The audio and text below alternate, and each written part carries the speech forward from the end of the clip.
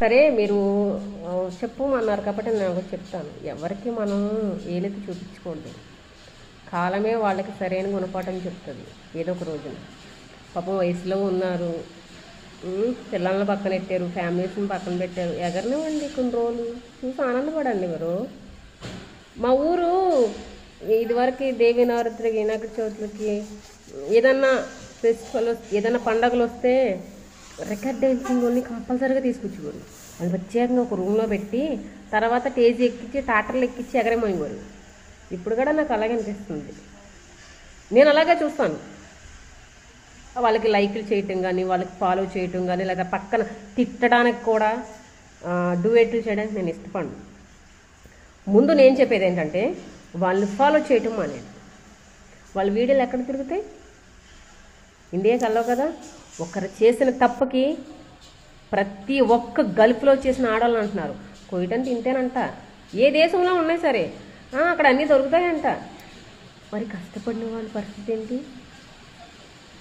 పొద్దు నుంచి సందాల దాకా తిండి లేకోకుండా నిలబడిపోయిన వాళ్ళ పరిస్థితి ఏంటి? కొడుకు చచ్చిపోయి తల్లి వెళ్ళకుండా గుండెలు బాదుకుని ఏడుతుంటే ఆ ఆ తల్లి పరిస్థితి ఏంటి? ఇలాంటివి చేసిన ఈ వీడియో వల్ల అందరికి వచ్చింది కదా పేరు. ఒకరితో పోలేదు కదా? అలాంటి వాళ్ళకి కాలమే సమాధానం చెప్తుంది. పది మంది పేరు మనం దేశం కానీ దేశం వచ్చాం. మన తెలుగు వాళ్ళము వీడియోలు చేసుకుంటున్నాము మన సంప్రదాయాలను కాపాడాలి మన గౌరవాన్ని మనం నిలబెట్టాలని ఆలోచించిన వాళ్ళు అలాంటి వీడియోలు చెయ్యరు. అది ఆలోచన లేదు. నేనేదో పెద్ద లైక్లు ఇచ్చేస్తున్నారు మగవాళ్ళు కొట్టేస్తున్నారు పక్కన డువేట్లు చేసేస్తున్నారు మనం హీరోయిన్ అయిపోదాం. సినిమా. హీరోయిన్ అవుతారు. రికార్డ్ డ్యాన్సింగ్ మాత్రమే పనికొస్తారు. హీరోయిన్లు ఎవరుగా వాళ్ళకి వాల్యూ ఉందా? అలాంటి వాళ్ళకి వాల్యూ ఉందా? మాట్లాడుకుని కూడా టైం వేస్ట్ నన్ను అడిగితే.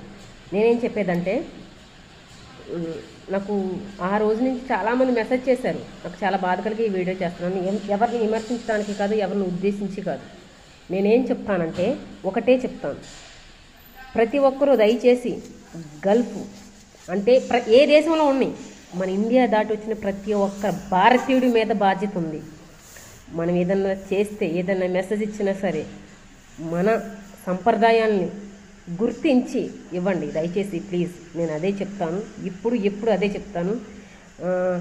ఈ ఫిల్టర్లు అనేది నేను వాడతాను ఫిల్టరు ఎందుకంటే నిజం రూపం తెలిసిందనుకో ఒక లైక్ కూడా రాదని కదా? షోకేసినట్టు బొమ్మలా చూపిస్తేనే మీరు లైకులు కొడతారు. దాని దగ్గరికి వెళ్ళి చూస్తే దాని భూతార్థం ఏంటో తెలుస్తుంది. అదే బ్రో నేను చెప్పాలనుకుంది. థ్యాంక్ యూ సో మచ్ నేను ఇంకా ఇలాంటి వీడియోలు చేయను. నాకు ఫస్ట్ ఇష్టం లేదు కూడా.